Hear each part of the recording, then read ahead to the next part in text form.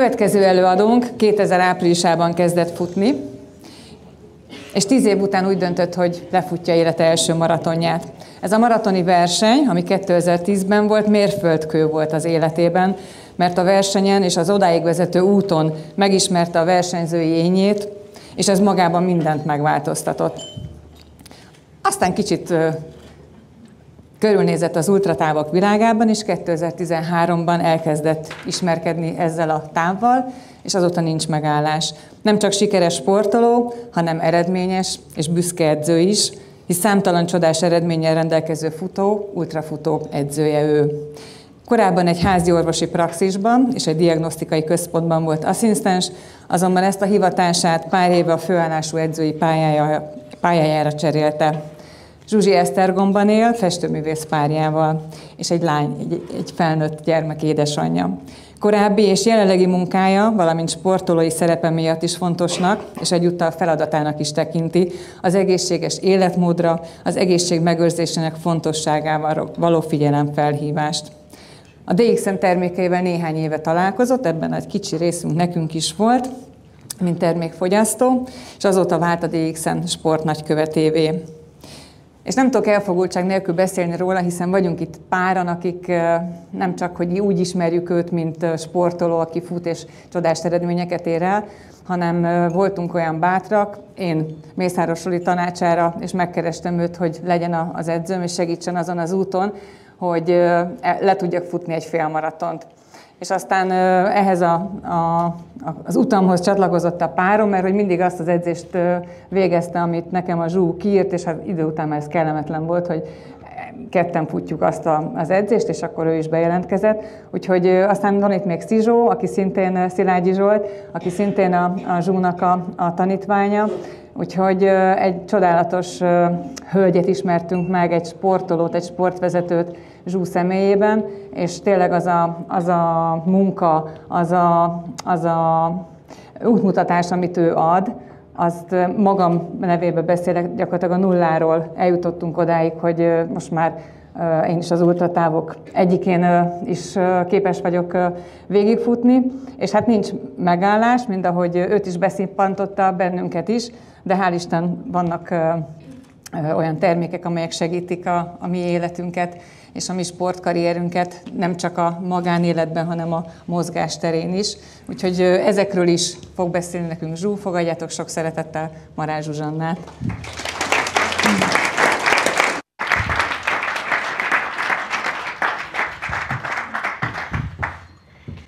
Köszönöm szépen, a fél előadásomat elmondta Tündi, úgyhogy ezzel készültem ezzel a szöveggel bevezetőnek. Jó, ennyire nem dicsértem volna magam, csak egy kicsit, de úgyhogy rossz helyen állok, vagy így berezonálok? Hova álljak ide? Jó, így? Szóval köszönöm szépen a, ezt a felvezetőt, mindig zavarba jövök, és kicsi hőhullámmal is küzdök most, hogy így már beléptem a klímaxba. Sokan ismertek már, mert már sokszor álltam itt előttetek. Ne fordulj majd a Gyuri. Jó, jó, jó. Kérdeztem otthon a lányomat, nem ciki, ha elárulom, hogy már klímaxolok? Ah, anya, nem, nem. Látják úgy is azt Úgyhogy igen, úgyhogy nem tudom, hogy a... lever a víz, de lehet, hogy azért, mert a tündi annyit dicsértél. Szóval igen, az egészségügyben töltött pályám alatt azt láttam, hogy amikor így középkorba lépünk, akkor mindenkinél jelentkeznek egészségügyi problémák, és ugye olyan helyen is dolgoztam, ahol nem csak a beteg páciensekkel volt alkalmam találkozni, hanem foglalkozás egészségügyel is foglalkoztunk, és így egészséges emberek szűrésével, időszakos és éves szűrővizsgálatokkal foglalkoztunk, és akkor vettem észre, hogy úgy 40 és 60 között vagyunk ugye a középkorban, a középkorúak, és hogy akkor jelentkeznek az egészségügyi problémák először, és én mindig az volt a célom, hogy valakit felállítsak az asztaltól, és hogy elkezdjen sportolni, és, vagy valamit mozogni. Én most itt futóedzőként állok, és nem arra akarok rávenni bárkit is, hogy elkezdjen futni, tehát nem ez a célom, de persze jó lenne, de, de hanem az a célom, hogy hogy, hogy, hogy merjünk életmódot váltani, és ahhoz nem azt kell, hogy most akkor mindenki húzzon fel cipőt és menjen el futni, de például nagyon jó lenne, ha valaki ma hazamegy, elárulom, gyönyörűen szépen süt a nap, 18 fok van, hogy valaki felvenne egy cipőt, és kimegy egy kicsit még gyalogolni egy parkba, az fantasztikus jó dolog lenne. Ha kapnék mondjuk fél év múlva egy üzenetet, már kaptam, itt voltam nálatok négy évvel ezelőtt, és kaptam egy olyan üzenetet karácsonykor, egy levelet, kézzel írt papírformájú levelet, kár, hogy nem hoztam el, amiben azt írta valaki nekem, hogy a DXN előadásán voltam négy évvel ezelőtt, és ő akkor felhúzott egy cipőt, és elment, és kicsit elkezdett kocogni, és azóta milyen nagy örömmel csinálja és végzi ezt a sportot. Nem tudom, hogy itt van-e közöttetek, de ez volt akkor a legszebb karácsony ajándékom, mert, mert ugye az a cél, hogy hogy egy ilyen előadásnak az a célja, hogy valakit felállítsak, és, és, és motiválni tudjam azzal, hogy elinduljon ezen az úton. Mert hát életmódot váltani tényleg nehéz. Ha annyira könnyű lenne, akkor mindenki azt csinálná, és nem is kellene beszélnünk róla. De tényleg nehéz. És sok, sokatoknak biztos az jut eszébe, hogy neki könnyű itt áll a színpadon, és szeret is futni, neki könnyű ezt mondani, és valóban nekem tényleg nagyon könnyű, én tényleg nagyon szeretek futni, kint lenni a szabadban, mozogni, de azért megmondom őszintén, én is csak akkor szeretek kimenni, amikor ilyen szép napsütés van, amikor azok a januári ronda, szürke napok, amikor csöpög egy kis csapadék, és, és nyírkos hideg van, azok az esték, amikor szeretek úgy futni, hogy így benézek az ablakokon, kicsit kukkoló vagyok ezek szerint, de, de szeretek benézegetni, és nagyon sokszor eszembe jut, hogy csak én vagyok egyedül itt kint, sajnáltatom magam, és minden normális ember otthon van, ezt látom, és ilyenkor néha egy kicsit én is így elgyengülök, és így sajnálom magam, de aztán eszembe jut, hogy hát, hogy nekem ugye célom van azzal, hogy én kint vagyok, és hát így tudom motiválni magam nyilván, hogy ezek a célok ott vannak előttem. Úgyhogy az életmódváltásnak az első lépcsője, hogy azt gondoljuk végig, hogy miért is akarunk életmódot váltani. Nyilván a korosztályt látva már nem az a célja senkinek, hogy olimpiai bajnok legyen, csak, csak azt szeretnénk elérni, hogy egészséges, fájdalommentes, gyógyszermentes, szép időskort éljünk meg. Én legalábbis így szeretném, és olyan terveim vannak, hogy, hogy ilyenkor majd Nordic Walking bottal elmegyünk a csapatommal, és túrázunk egy jót a hegyekben, vagy az erdőben, mindegy is, hogy hol, csak hogy, hogy egészségesen, jókedvűen, és mentálisan és fizikailag is egészségesen öregedjek majd meg. Szóval nekem ez a célom, és azt szeretném, hogy, hogy ebbe vinni minél több embert magammal, hogy, hogy legyen ez a célotok, amikor így az életmódváltásról beszélünk. Szóval az egyik pont az az, hogy először is el kell dönteni, hogy, hogy mik azok a berögzült, rossz tevékenységek, amiket úgy le, le kellene egy kicsit tenni, és helyette pedig ugye azt az időt, amit így ezzel nyerünk, akkor egy kicsit nekiállni és mozogni. Szóval, ha ez már megvan, hogy mik azok, amiktől meg szeretnék megszabadulni, akkor a másik pont, hogy le kellene ülni, és ezeket leírni, hogy mik a célok. Tehát ki kell tűzni célt, mert cél nélkül nagyon nehéz. Cél nélkül nem fogsz kimenni egy ronda esős, szürke napon. Szóval legyenek hosszú távú célok, és legyenek rövid apró kis célok. Azért kellenek az apró pici célok, hogy hétről hétre teljesíteni tudjuk, és meg tudjuk veregetni a vállunkat, hogy milyen klassz milyen klassz voltam, ma is megcsináltam, milyen ügyes vagyok, szóval kell azért, hogy dicsérgessük is magunkat. Hosszú távú céloknál pedig merjünk nagyokat álmodni, tehát azért azok azért vannak, hogy, hogy megmerjük ezeket lépni, és ezután pedig már csak tenni kell, és, de itt nagyon fontos, hogy a fokozatosság elvét betartva próbáljunk bármiféle változást is bevinni az életünkbe, mert az ilyen önsanyargató diéták és, és egyéb olyan tevékenységek, amelyeket nem lehet csinálni hosszú hetek, hónapok, éveken át, azt úgyis abba fogjuk hagyni. Úgyhogy én ilyen nagyon piciben ö, javaslom, hogy valaki elkezdje az életmódváltást, és, és én azt gondolom, hogy az a legjobb dolog, ha felhúzunk egy kényelmes cipőt, egy kényelmes ruhát, nem kell semmi hozzá, ugyanaz a hétköznapi kényelmes ruha, ami otthon találunk, valamibe kimegyünk és sétálunk egyet, vagy inkább gyalogolunk. A séta azért az nem elég. A sétálni ugye csak itt sétálunk. Gyaloglásnál meg vissza. Gyaloglásnál meg ugye szaporában veszük a levegőt, megemelkedik a pulzusszám, és verejtékezni kezdünk, és az már sport. Tehát ha valaki napi fél órát kimegy és gyalogol, az előbb-utóbb azt fogja érezni, hogy ez már nagyon jól esik. Akkor elkezd egy picit többet gyalogolni. Vagy elkezd gyorsabban. Amikor már nem tud gyorsabban gyalogolni, akkor abban már bele lehet egy picikéket kocogni. Persze nem sokat, egy-egy percet először és, és akkor így lesz ebből esetleg már valódi kocogás és futás. Most akinek nagyobb túlsúlya van, az, az nem szabad, hogy neki álljon futni. Három hét múlva már fájni fog a térde, bokája, és már fel is teszi a kezét, hogy én megmondtam, ez, erre én nem vagyok való, ez, ez, ez nem az én sportom. Szóval nem, nem kell mindenkinek futni, de, de esélyt kell adni arra, hogy, hogy de furcsa ez a hang, nagyon hallom magam mindenhonnan. Szóval esélyt kell adni arra, hogy, hogy szenvedélyünké váljon a mozgás. És fel kell állni az íróasztaloktól, mert óriási árat fizetünk ezért, hogy leültünk az íróasztalokhoz, hiszen aki napi 8 órában ül az asztalnál, a szeme a képernyőn, újja az egéren,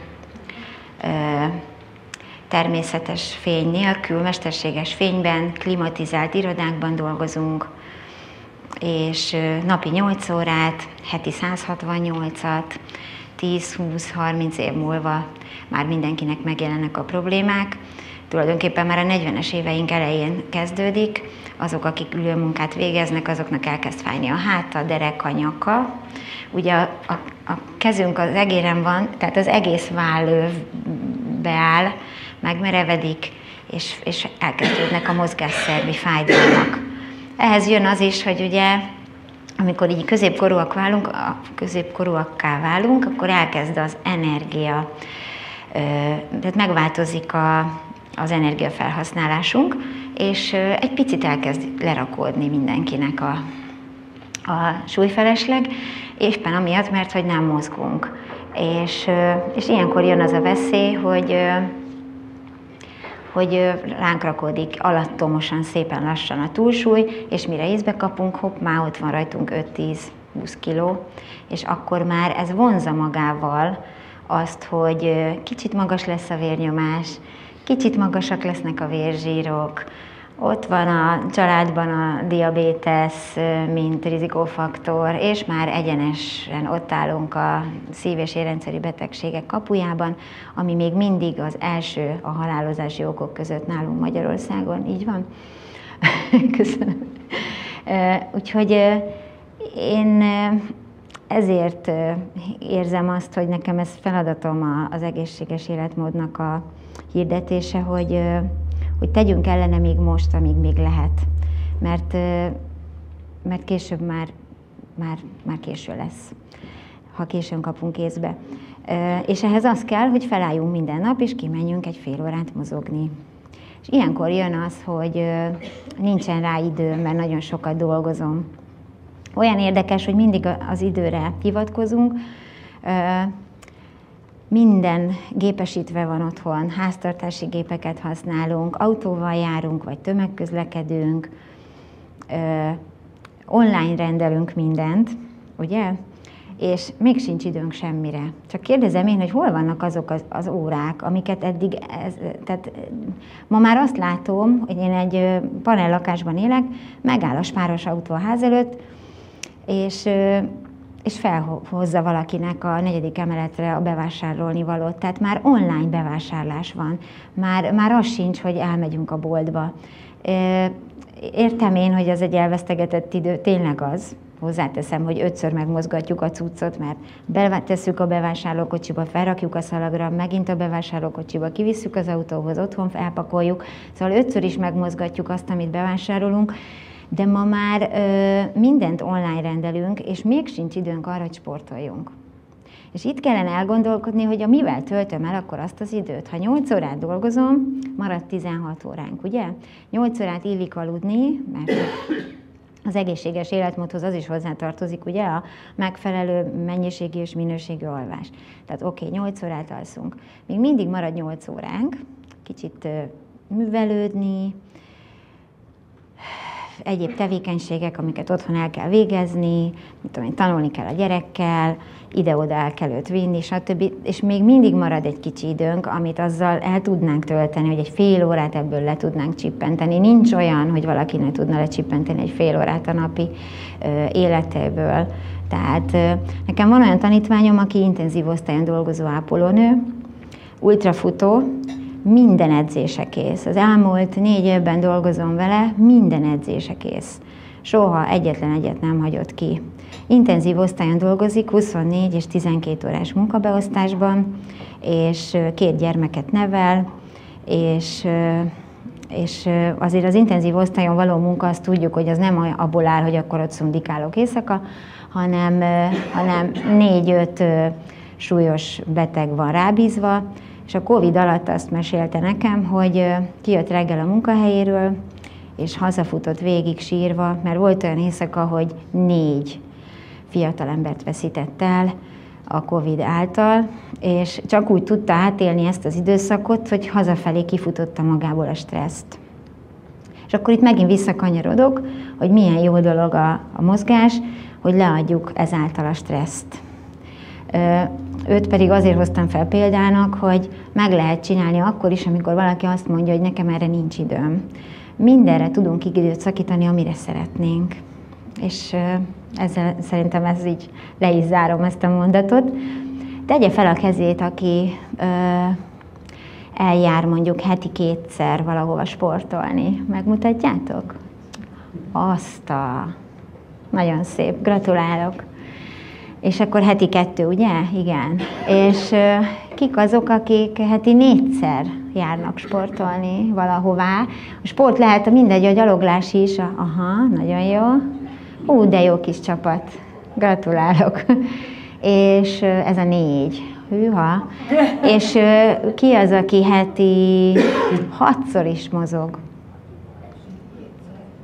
Akkor én is felrakom a kezem. Nagyon jó, nagyon jó. Gratulálok mindenkinek. Nulla? Igen, persze, van, most az nem. Szóval igen, gratulálok. Nagyon jó dolog, ha heti kétszer eljárunk valahol tornázni, mondjuk, vagy spinningre, vagy fallabdázni, vagy rengeteg tök jó sport van, és ez nagyon-nagyon nagy dolog. Én is ezt csináltam a fiatal éveimben, tökéletesen kielégített a heti két aerobik, nagyon jó volt zene, ritmikus mozgás, az így nagyon jó érzés volt hazamenni, ugye eleve velem egykorúakkal, ez egy szórakozás is. És közben meg azért kemény fizikai terhelés is volt, és nagyon kielégítette az akkori mozgásigényemet és életemet, de, de de az csak heti kettő alkalom volt, kettő óráról beszélek a 168-ból. És ugye egyik oldalról megveregettem a vállam, hogy de milyen klassz csaj vagyok, a másik oldalról meg hát azért, az egy, azért ez nem sok. És de persze legyünk elégedettek nyilván, de abban még azért férne abba a hétbe, ugye? Tehát ti is érzitek. Csak az a baj, az ilyen, elmegyek valahova edzeni, hogy megint alkalmazkodnunk kell edzőhöz, teremhez, időponthoz. Tehát a, a mai világban az egészségünk után a legnagyobb érték a szabadidőnk. Mi történik, hazamegyünk, valaki főállásban dolgozik, napi 8 órában, utána még el kell mennie valahova edzőterembe, vagy edzeni. És ez megint az történik, hogy az egy órás edzésből gyakorlatilag kettő lesz, mert odautazol, átöltözöl, megcsináld az edzést, visszaöltözöl, hazamész, tehát gyakorlatilag ezt, az, hogy még naponta az estéjéből kettő órát valaki elvegyen, ez, ez egy kicsit luxus. Azok az anyukák vagy apukák, akiknek gyerekeik vannak, azok tudják, hogy az esték milyen fontosak. Tanulni kell a gyereket, csomagolni kell másnapra, főzni kell másnapra, vásárolni is azért valakinek illik elmenni néha. És ez egy csomó olyan tevékenység, amiket meg kell csinálnunk, tehát a családos fiatal felnőtteknek nagyon nehéz ezt be, be, berakni a napjaikba. Viszont erre az jó, hogy, hogy van egy fél órám, amíg a gyerek leckézik, és jó hosszú leckét irattam vele, hogy addig elmehessek futni, de, de nekem tényleg könnyű volt, mert egy gyerekem van, akivel úgy tudtam megoldani a kisgyerekes időszakunkat, hogy, hogy elvittem mondjuk angolórára, és úgy mentem futóruhába, mondtam neki az angol tanárnő háza előtt megálltunk kocsival, itt találkozunk 45 perc múlva. Persze később beszéltem angol tanárral, hogy jó lenne 60 perc. Nekem megéri. és, és akkor 60 perc lett az angol órája szegény gyerkőcnek, de így volt 60 percen futni de heti kétszer hordtam matekra, meg kétszer angolra, és már négyszer tudtam futni, mert soha nem számíthattam arra, hogy majd akkor elmegyek, ha a férjem hazajön, mert olyan munkája volt, hogy nagyon sokszor későn jött haza, vagy sokat utazott, és hogyha arra várok, hogy majd valaki átveszi a gyerkőcömet, akkor, akkor így nem sikerült volna sportolnom. Úgyhogy én így oldottam meg. Persze, akinek több gyereke van, sokkal nehezebb az egész helyzet, nagyon sok fiatal anyuka ezért mondjuk reggel tud elmenni, hajnalba fel kell, és reggel megy el mozogni, mert az esték azok olyan fontosak otthon lenni a családdal, a gyerekekkel, és ezért nagyon sokan csak így tudják megoldani, de de teljesen mindegy, hogy mennyit megyünk, a lényeg, hogy mozogjunk valamit, és ha nincs időnk arra, hogy a szabadban mozogjunk, akkor otthon kell valami megoldást találni, mert még az is jobb, mint a semmi. Szóval borzasztó nagy árat fizetünk azzal, hogy leültünk az íróasztalokhoz, és ez a nagy ár, ez az egészség. Úgyhogy ezért, ezért próbálom az életmódváltást ennyire reklámozni, hogy reklámozni, szóval, hogy, hogy motiválni titeket arra, hogy, hogy érdemes megmozdulni, hogy egy szép és egészséges időskort tudjunk megélni ugyanakkor a mentális egészségünkre is ugyanígy oda kell figyelni. Nyilván időnként meg kell állni azoknak is, akik nagyon sokat dolgoznak, és egy kicsit magunkra figyelni, befelé figyelni, kipróbálni új módszereket, amivel egy kicsit le tudjuk vezetni a stresszt, és és arra is nagyjából ugyanannyi energiát kellene fektetnünk, mint a fizikai egészségünkre, de, de ez valahogy generálja az egyik a másikat. Aki rendszeresen mozog, az mentálisan is sokkal jobb állapotban van. Ezt én saját tapasztalatom, saját magamon érzem, és akik mozogtok, azok is érzik, hogy milyen jól esik. Egész másképp érezzük magunkat a bőrünkben. Amikor én annó elkezdtem futni, 30 éves voltam, és 30 percre lejártam futni házunkkal szembe lévő focipályára. Amikor a lányom olyan négy éves volt, akkor már levittem magammal, nem volt kire hagynom, és nagyon élvezte. Vittünk hullókarikát, ugrálókötelet, Barbie babát, mindent, ami csak kellhet a futáshoz, és ő ott eljátszott a pálya szélén, már nem volt edzés, tehát így biztonságban tudtam. Persze azt meg kellett értetnem vele, hogy igaz, hogy én most elfutok arra, de ott vissza fogok jönni. És emlékszem, az első köröknél mindig állt és nézett, hogy tényleg visszajövök-e.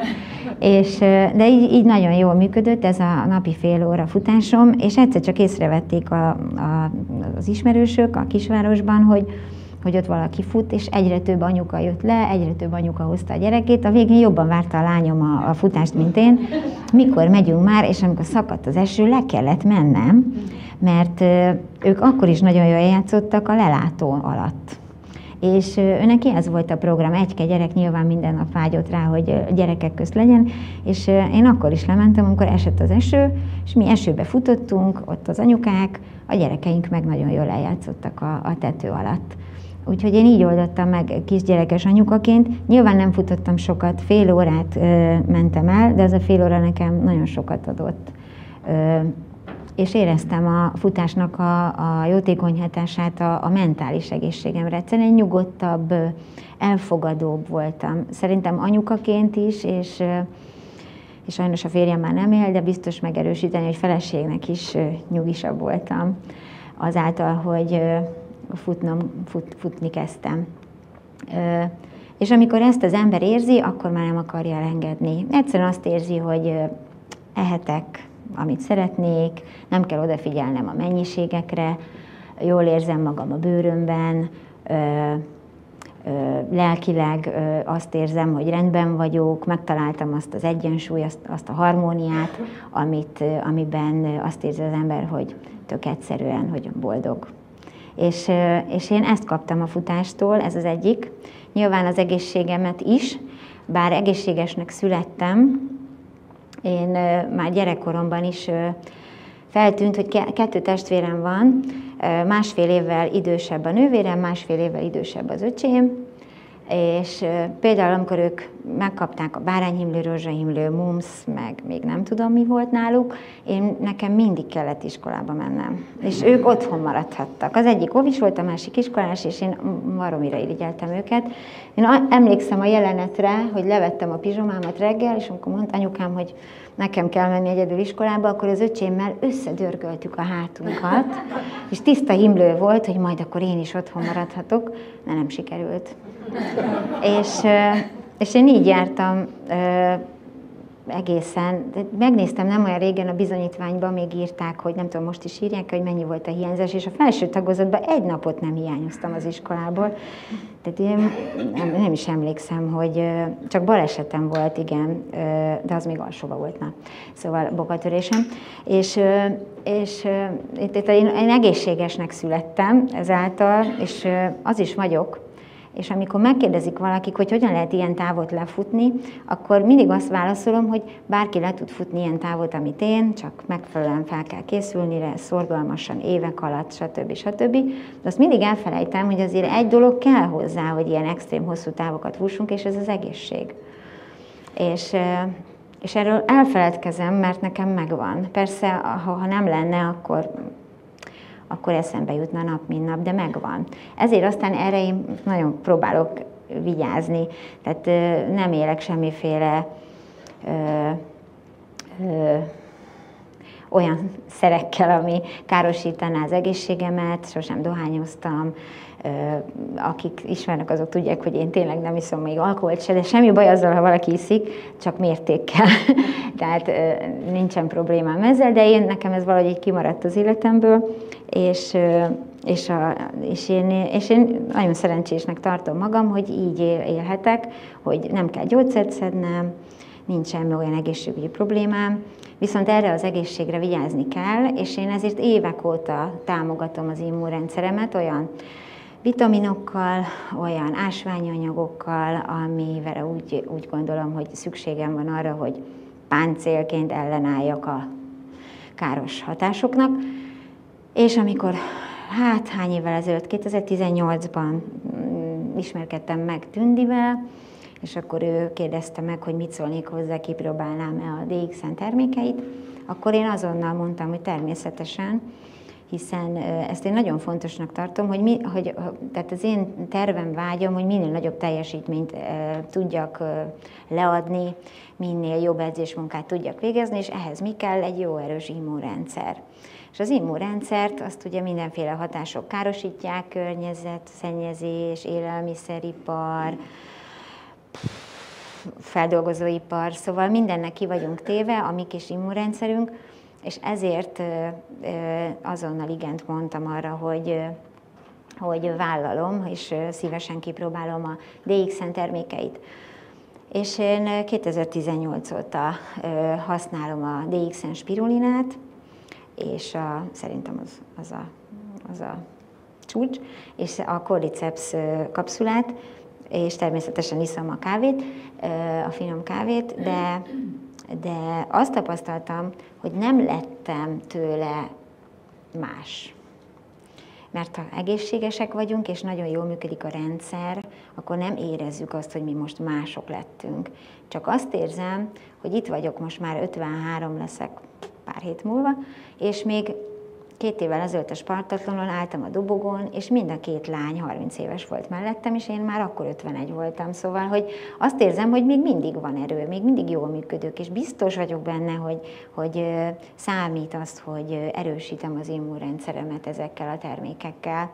Úgyhogy én, én ebben hiszek, mert nyilván bizonyítékom van rá, hogy még mindig jól működik a, a testem de azt gondolom, hogy az lesz az igazi teszt, hogy tíz év múlva megint találkozunk itt, beszéljük meg, és, és akkor nézzük meg, hogy hol tartunk. Mert nyilván egyszer csak elindul majd egy hanyatlás, hiszen a biológiát nem lehet becsapni, a sejtek öregszenek, a testünk változik, hát látom, ránc meg ilyesmi, de nyilván a teljesítmény is elkezd majd csökkenni, és meg, meg fogom ezt élni, már azért a tempó azért már nem ott van, mint volt, de, de nem baj, azért még hosszú távon még mindig jó vagyok, de, de az lesz az igazi teszt, hogy, hogy majd így 60 pluszosan is, hogy mit fogok tudni mondani.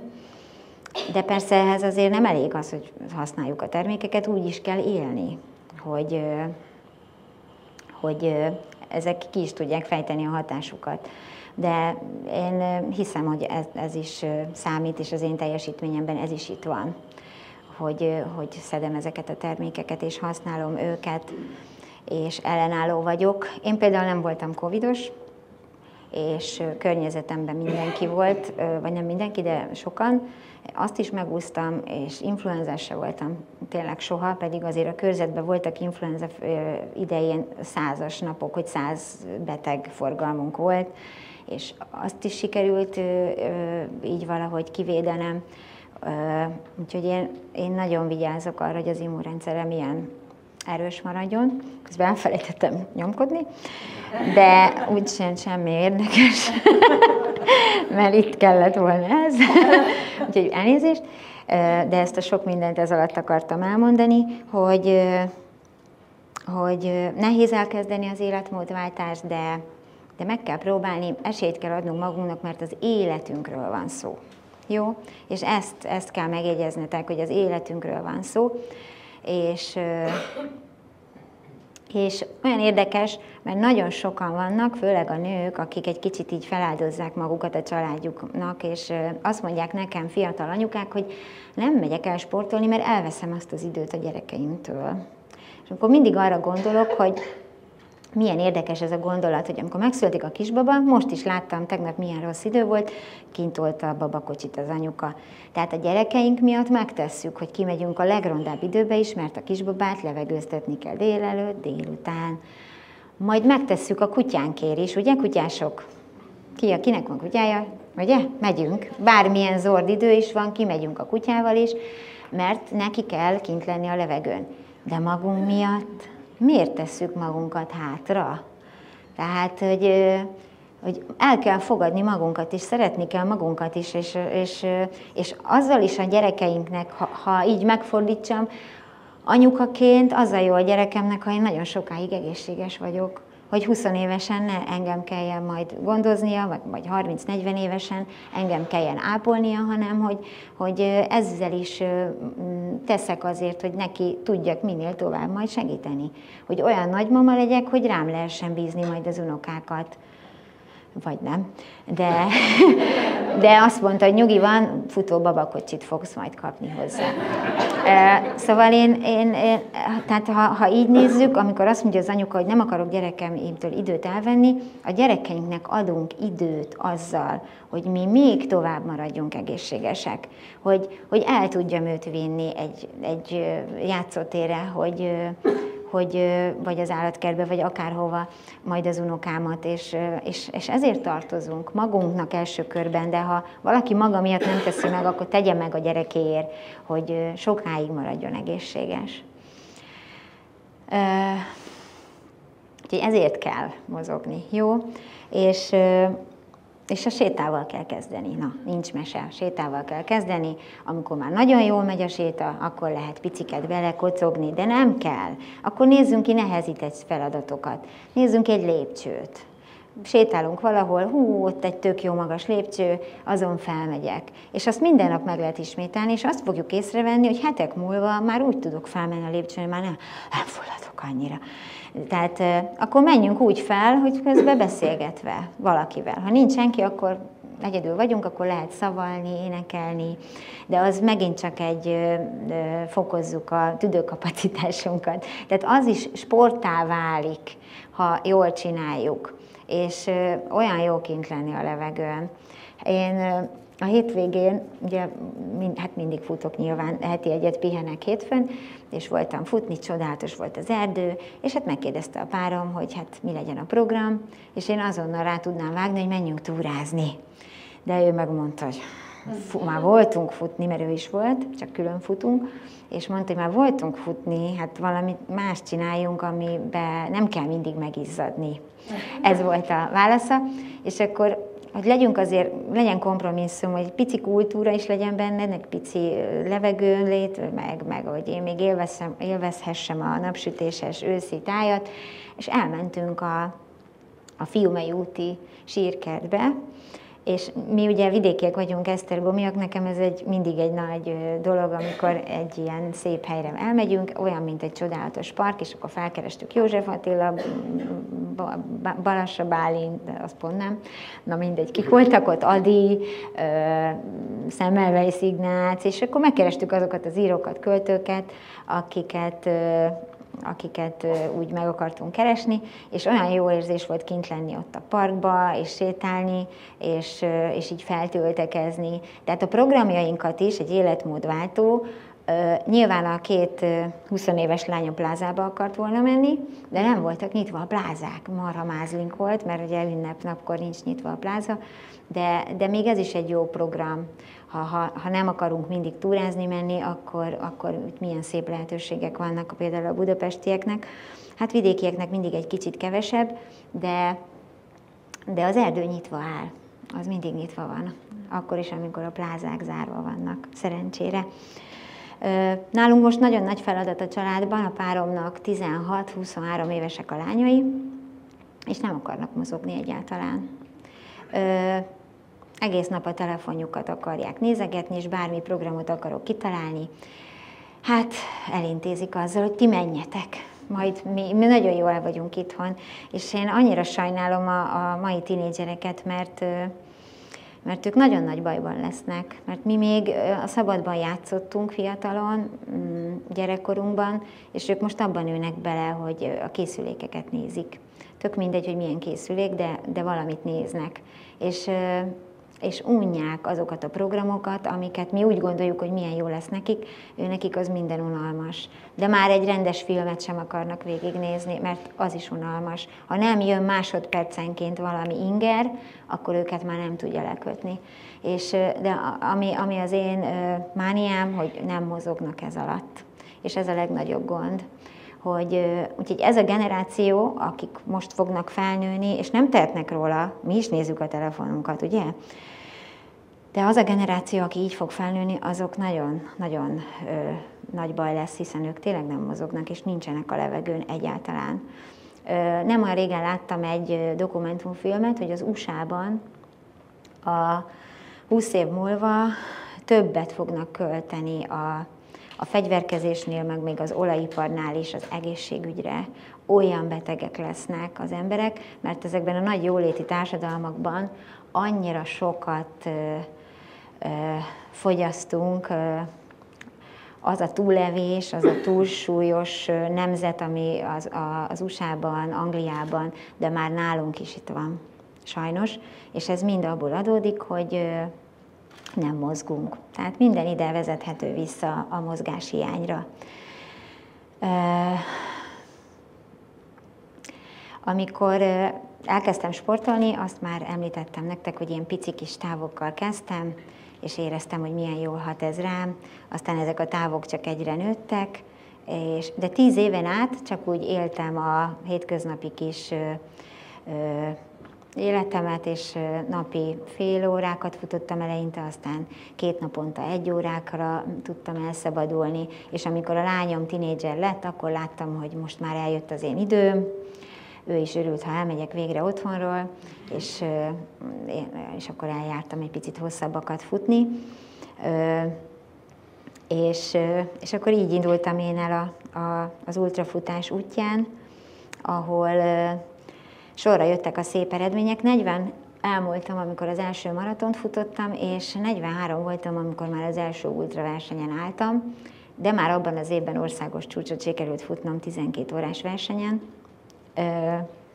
Akkor jöttem rá, hogy ezt én mennyire élvezem, hogy ez milyen jól megy nekem, és, és hogy jól tűröm a monotóniát, és a hosszú távú terhelést, és akkor így váltam én ultrafutóvá. Majd egyre hosszabb távok felé nézelődtem, és így kerültem el az Ultra Balatonra. Az, ha valaki nem tudná, az egy kör a Balaton körül. Amikor még én kezdtem ott futni, akkor még 221 kilométeres volt a táv, most már csak 210 kicsit kivettek belőle az északi part kis falvaiba is felfutottunk régen, azokat sajnos kivették belőle, mert nincsen bicikli hálózat, és olyan tömeges mennyiségű futó indul el azon a napon, hogy már nem volt biztonságos a, főútvonalakon engedni a tömeget, ezért már a kerékpárútat tudjuk csak használni, és így változik a táv. Szóval 205, 210 km az Ultrabalaton, és, és azon ötször indultam el az Ultrabalatonon, és mind az ötször sikerült győznöm. bocsánat, ez nem azért volt hatásszünet, ha csak a gombokat nem tudom megjegyezni. Na, itt van. Szóval öt győzelmem volt eddig, és mind az ötször tehát ahányszor elindultam, annyiszor tudtam győzni, és erre azért vagyok nagyon büszke, mert én vagyok az egyetlen Magyarországon, akinek ilyen sorozatom van, senki másnak nincs talán. Egyetlen egy fiú van, aki már háromszor győzött, de hát én már ötször. Úgyhogy eddig én vezetek. És ennek, ennek nagyon örültem, mert idén 53 leszek, és, és még idén is sikerült újra felállnom a dobogó tetejére. Aztán gyorsan el is köszöntem az Ultra Balatontól, nyilatkoztam is, hogy soha többet nem indulok, mert úgy gondolom, hogy ezt már azért nehéz lenne még egyszer megcsinálni, és nem akarom elrontani ezt a szép sorozatot. Úgyhogy persze még fogok itt futni, de, de majd párosban, vagy csapatban, vagy nagyon jól el tudnám képzelni, hogy a tanítványaimmal összeállni, és egy csapatban végig menni ezen az úton, mert egy nagyon-nagyon szép élmény és egy fantasztikus jó érzés ránézni a Balatonra, felmegyek a Tihanyi apátsághoz minden évben kétszer-háromszor, és így ránézek a vízre, és azt érzem, hogy én ezt egyedül körbe tudtam futni, ezt a nagy tavat, és ez fantasztikus érzés. És ezt átadni a tanítványaimnak, az, az szintén gyönyörű, és ezt is nagyon ugyanígy élem meg körülbelül. Úgyhogy nagyon-nagyon örülök, mert Tündi és Szabi jövőre ketten fogják futni a Balatont körbe. És én emlékszem, amikor Tündinek azt mondtam pár évvel ezelőtt, hogy fogsz te még az Ultra Balatonon párosba futni, akkor így ütögette a fülét, hogy ba, ba, ba, ba. Tehát, hogy ilyet nem mondjak, mert ő biztos, hogy nem fogja. És most itt állunk. És nem is én te, találtam ki, hanem... Ne,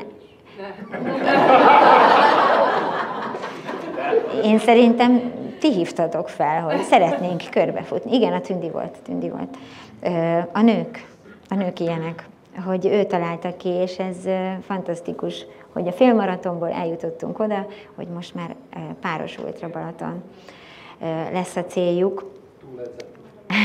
Aztán a, az ultra Balatonok után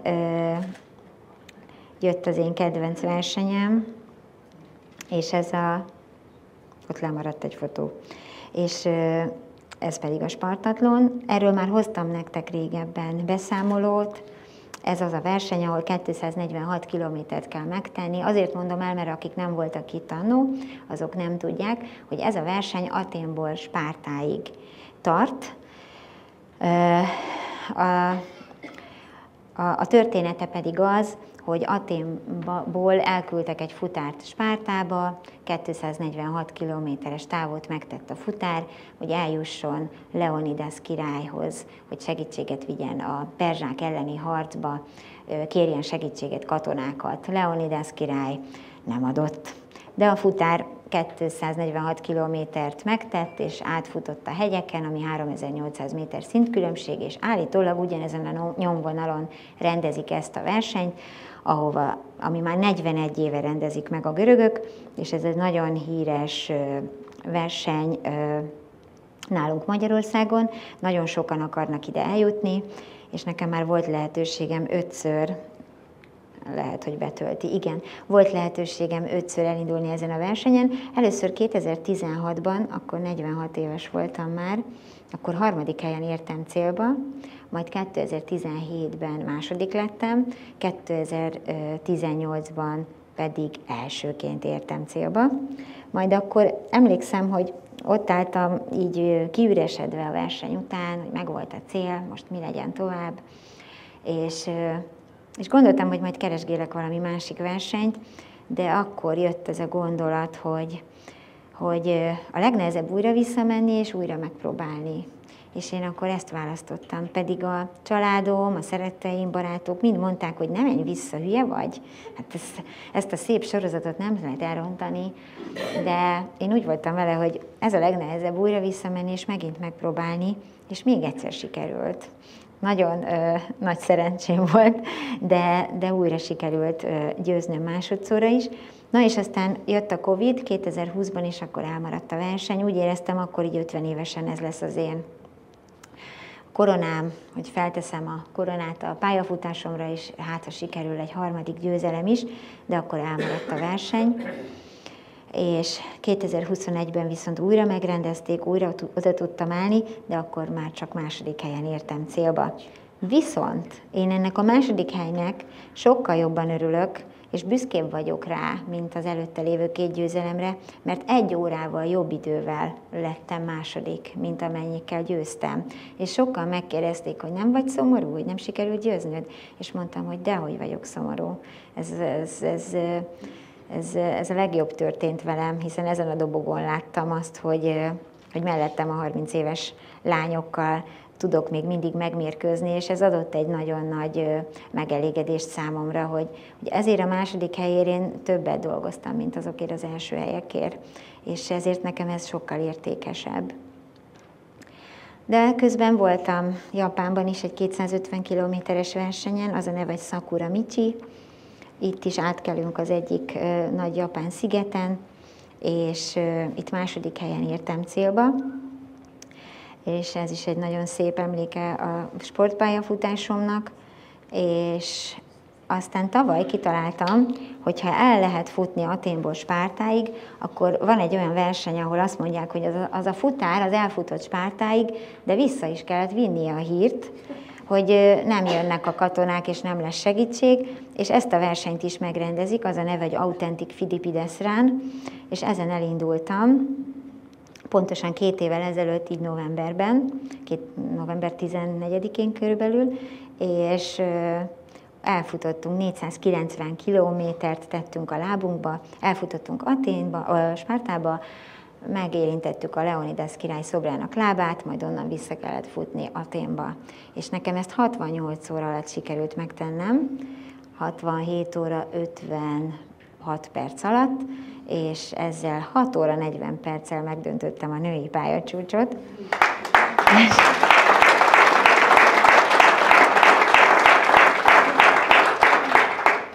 és akkor megvolt ez az őrület is, és akkor tavaly már nem tudtam mit kitalálni. Ja, közben bejött egy francia versenyről is, hoztam egy fotót, a párommal. Ez egy 222 kilométeres francia verseny volt, fantasztikus, majdnem 5000 méter szint különbséget kellett megtenni a távon, de nagyon-nagyon szép és nagyon kedves emberekkel találkoztam ott, úgyhogy nagyon közel áll a szívemhez.